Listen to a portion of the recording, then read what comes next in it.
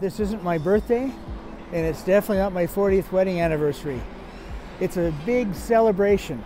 I've hit a milestone in my life here.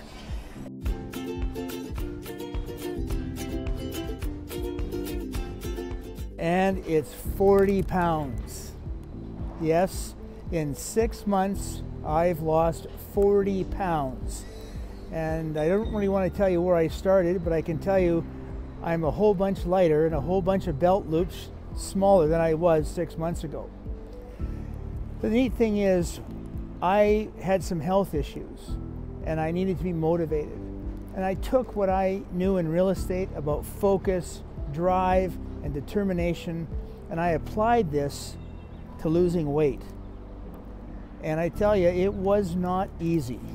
However, with that persistence, boy, I tell you, do I feel great. And there it is 40 pounds.